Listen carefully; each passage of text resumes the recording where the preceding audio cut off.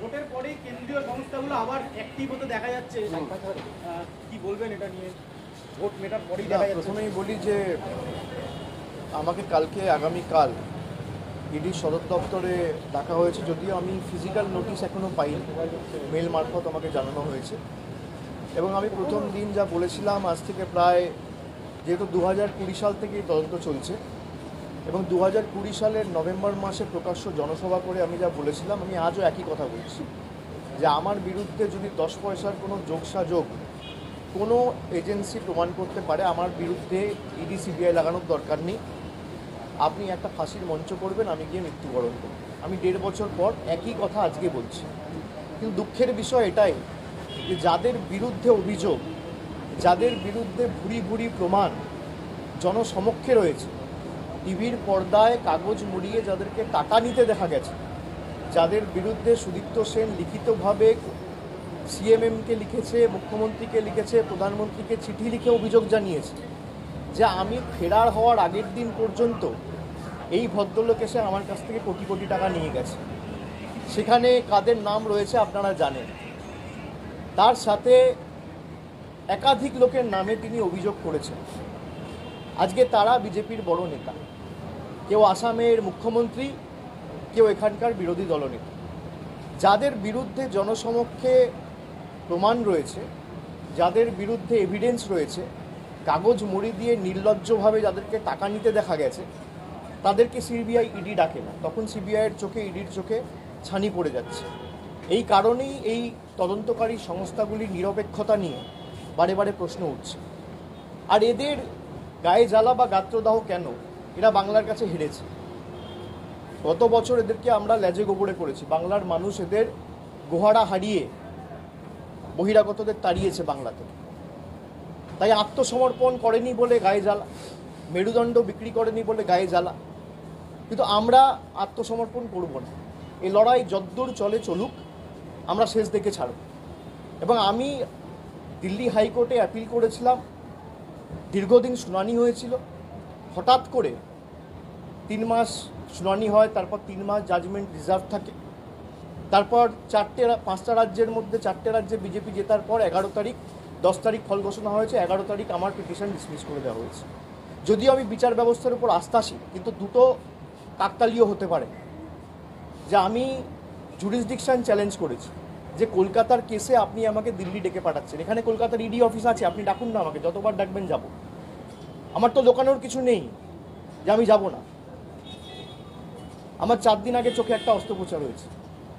আমাকে doctor bed রেস্টে থাকতে বলেছিল, আমি তাও যাচ্ছি। আমরা মাথা উঁচু করে বেঁচে থাকার লোক। আমরা মাথা উঁচু করে বাঁচতে জানি। বাংলার লোক মাথা মতো করে না। কিন্তু আমি জুরিসডিকশন চ্যালেঞ্জ করে যখন হাইকোর্টে অ্যাপিল করলাম অগাস্ট মাসে অ্যাপিল করেছি। অগাস্ট সেপ্টেম্বর অক্টোবর নভেম্বর চার মাস হিয়ারিং হয়েছে। চার মাস হিয়ারিং হওয়ার পরে তিন মাস জাজমেন্ট রিজার্ভ করে রাখা হয়েছে ডিসেম্বর জানুয়ারি ফেব্রুয়ারি দশ তারিখ বিজেপির ফল ঘোষণা হওয়ার পর বিজেপি চারটে রাজ্যে জিতেছে, আর এগারো তারিখ তিন মাস ধরে রিজার্ভ করা জাজমেন্ট হঠাৎ করে বেরিয়ে গেল যে আমার আবেদন খারিজ। আবেদন খারিজ তাহলে আপনারা শুনলেন কেন, ছ মাস? যদি আমি সুপ্রিম কোর্টে যাব, উচ্চ আদালতে যাওয়ার রাস্তা আমার খোলা রয়েছে। এবং সর্বোচ্চ বিচার ব্যবস্থার উপর আমরা আস্থা আছি কিন্তু যারা ভাবছে যে এইসব করে আমরা মাথানত করব, আমরা মাথানত করব we will not bow down we will not be cowed down if we have to be bowed down I am ready to bow down I will bow down before the power of people I will not bow down once, I will not bow down twice, I will bow down hundred times. Before the power of people, I'll bow down. I will not bow down before the people in power.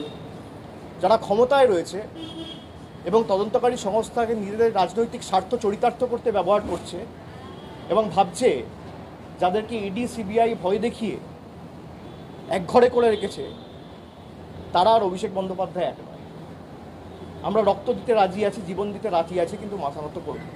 তাই আমি আগামীকাল যাব এবং আমাকে তো আগেও জেরা করা হয়েছে দশ ঘণ্টা জেরা করেছে আমার কাছ থেকে যা তথ্য জানতে চেয়েছে যা পরিসংখ্যান চেয়েছে আমি দিয়েছি আগামীকালও যাচাই আমি দেবো ঠিক আছে অনেক ধন্যবাদ central, uh, uh, the central government is using the agencies against the the Trinamool Congress? it goes without saying. And it comes at a time it comes at a time when the parliament starts, when the parliament is in session, when there are some kind of by-elections. So the central government or the BJP, despite all its might, blitz and vigor, they are failing to take on Trinamool Congress electorally and democratically. That is the reason they are taking on Trinamool by using the agencies. We have defeated them and Trinamool Congress with the blessings and love of the people of Bengal has won the state lock, stock and barrel in the last one year. And that is the reason BJP is not able to digest this electoral defeat. That is the reason they are calling us whoever will take the people's side, they will harass them. But we are not like other members in the opposition. We will fight till the last drop of our blood, but will not be cowed down before these autocratic forces. As I said, I am ready to bow down, bow down before the power of people. But I will not be bowed down before the people in power. All right? Thank you. Thank you.